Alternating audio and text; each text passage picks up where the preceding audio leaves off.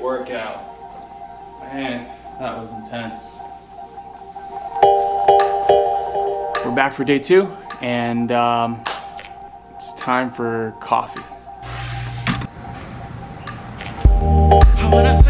So it's time to get everything wrapped up, packed up, put away, and drive east to Vero. Uh, this trip uh, went by pretty quickly, as uh, as uh, most 24-hour trips go. Um, had a great time though.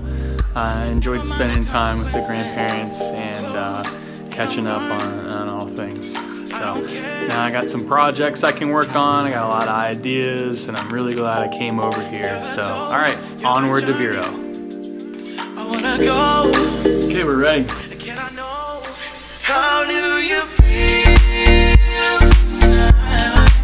Back on the road, uh, heading east, and uh, it was nice. It was nice being over here, in Sarasota. I haven't been here in a while.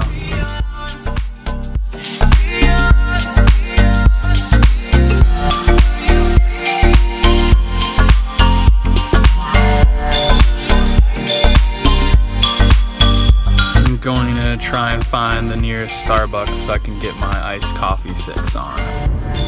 There it is. How do I get to it? Cause it's real when I'm with you. Or should I say what I'm supposed to? Or should I say what I'm going through? I don't know what you're intending. You feel me when you're trying to. Until it feels like love's through.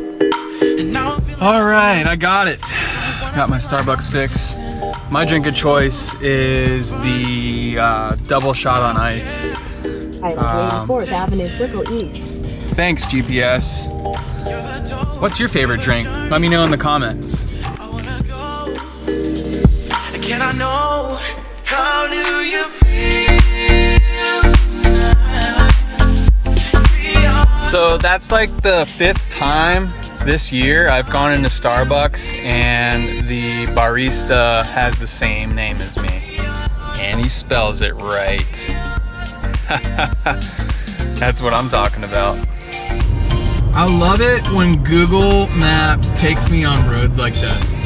I am in the middle of a freaking orange grove with no center line. This is insane. And apparently it's cutting 10 minutes off of my time. Way to go, Google. Way to go. This has nothing to do with you. And a quick in and out of the house, and now it's time to go over to the park and get a run in.